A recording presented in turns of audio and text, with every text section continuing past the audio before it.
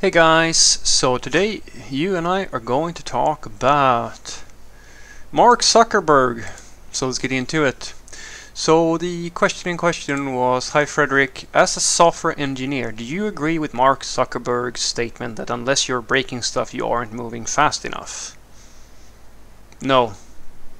Um, I think that that statement is... Uh, but uh, like I don't want to say that it's wrong because I think that it is a very very good statement but there's a few things that are lost in translation and this is sort of uh, so this I, am not going to pro project things onto Mr. Zuckerberg uh, because I I, I mean he, he might be an idiot I don't think he is an idiot uh, but at the same time I don't want to assume that my interpretation of what the, of the statement is the one that he actually meant. I'm just going to give you my thoughts and let's leave it at that and you can then call me stupid or smart based on what I tell you. Okay, so this is just my interpretation of what that statement would mean.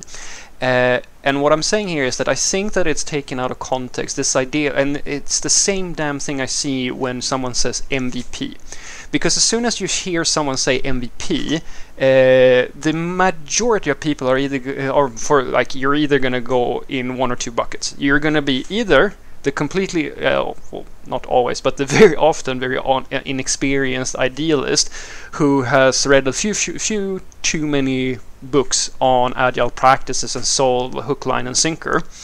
And then you're going to have the negative Nancy's who are really, really upset about the whole thing and saying that, yeah, MVP always leads to shit software because you're always hacking things together.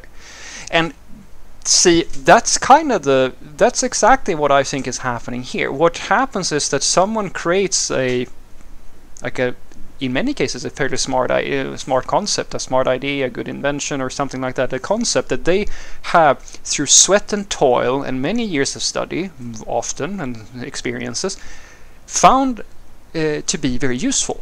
And then they try to the best of their abilities to relay that information to some other person so that maybe that's going to help their life. But you will very quickly realize that since the other people have never gone through the thing that you've gone through, uh, you kind of have to leave it up to them to make their own interpretation of what it is that you're teaching.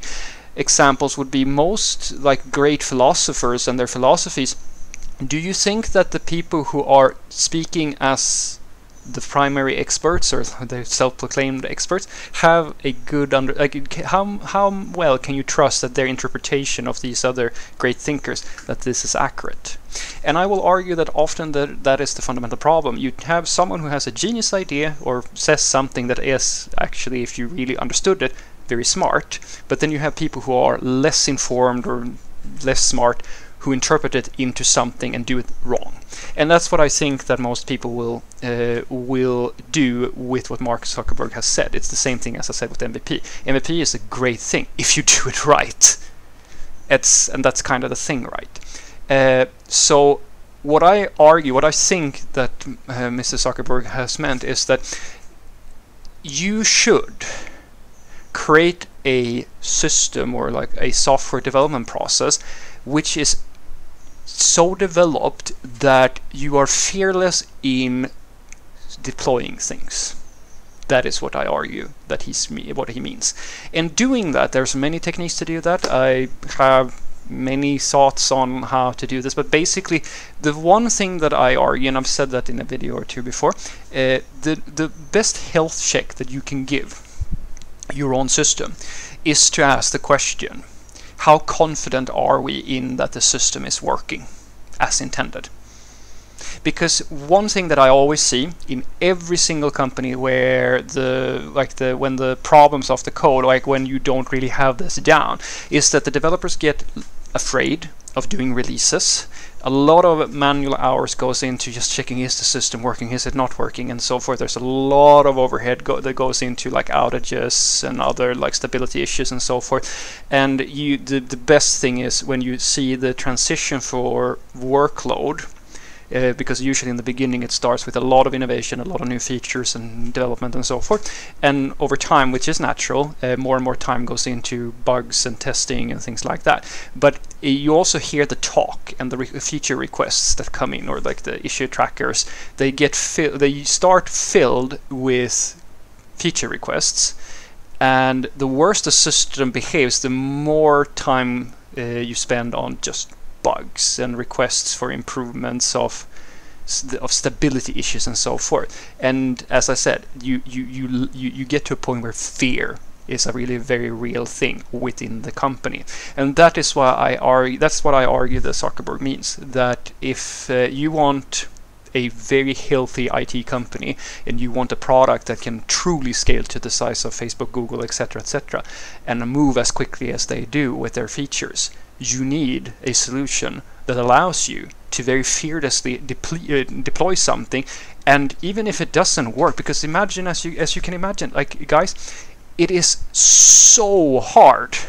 It is so gosh darn hard to be perfect it's impossible to be perfect in a large system. If you just think about the scale, like if we talk about a small company, if you have your own little uh, uh, monolithic application, yeah, with maybe a few features, it's probably fairly safe to say that you can probably deploy something and within your own skull know, ah, it's probably going to work. Imagine if you're working at the scale of Google, where literally they have so many services that if they only have one failure in one of those systems, say every other week. It's probably still going to be like outages all the time, and it probably does happen. That's like one of the main reasons why we develop tools like Kubernetes and uh, and so forth, because there is a it's such a complicated problem when you have so many nodes and pieces, moving pieces that all need to align in some fashion, and it's it's practically impossible to have this like small scale mindset where we're just going to make sure that we test everything perfectly and we're just going to make sure that everything works before we deploy it. And if it if we deploy it and it doesn't work we're screwed. Or like we have to like fix that thing. That way of working it works at a small company but it does not work when you are like a bigger corporation. And I think more companies are understanding that that is the way we need to go. Uh, there are prejudices and there are misinterpretations of this and so forth, but honestly, from the times that I've seen this been done in a way, like when practices are followed, that makes this a very reality, when you know that you can release something like that and you are not afraid of doing that because you know that if something breaks, say like you're using almost one of my favorite things, you're using feature flags. Well, you know that you can deploy that thing under a feature flag out into production, flip the feature flag on a little while for either a percentage, like it's, uh, you can call it a canary if you want to, it doesn't really matter which strategy you're using. You can just flip that thing on in production, have people use it, even if it's just an internal thing or whatever, see that it works. After a little while, you go, yeah, okay, let's make that a permanent thing. And then you create a story or something like that to remove the feature flag because now it's a permanent feature. And then you can deprecate the old code or something like that. Uh, or you can, and you can of course use like rollbacks and so forth if it's a really critical issue, etc., etc. There are so many strategies that makes this a reality because when you get to that point, you are now unafraid to try to move fast. You are unafraid to deploy things. You don't have to try, because as I said, it's impossible to be perfect. But when you're scared of making a mistake, you're going to slow down and you're going to hurt the overall effectiveness of your company. So what I want you to take away from this is that I agree with my interpretation of what Mark Zuckerberg says. Uh, I don't agree with the ridiculous idi idiots who interpret the words of Mr. Zuckerberg uh, in the way that I've unfortunately worked with people, with managers who have this exact idea. Oh, we're just going to move move fast and break things. And uh, the second we do that and shit starts hitting the fan and customers come back and complain, they they, get really upset with us instead. And we kind of go, well, I thought we wanted to move fast and break things. Yes, but you, you know, you need to, uh, the, the system needs to work. And I go, yeah, it needs to work so how, what do you want? Do you want speed and uh, fast deployment or do you want a working system? Which is it? You can't have both.